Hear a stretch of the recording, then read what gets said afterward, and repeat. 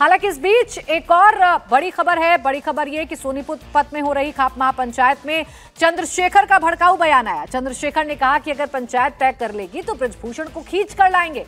इतना दम रखते हैं कि ब्रजभूषण को खींच कर ला सकते हैं।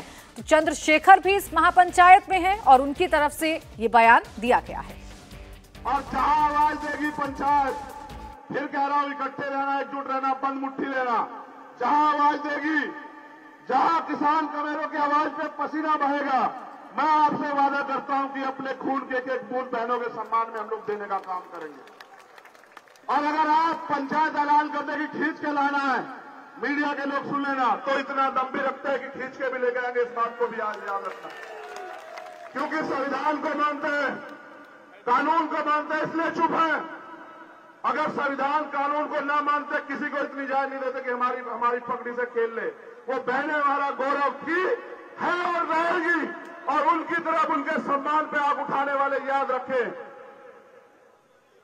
सत्ता के दम पे ताकतवर हो, तुमसे सत्ता भी छीन लेंगे और तुम्हारा घमंड भी छीन लेंगे, याद रखना। इंडिया टीवी, हर वक्त, हर जगह। डाउनलोड करने के लिए सर्च करें India TV news, Google Play Store या एप स्टोर पर।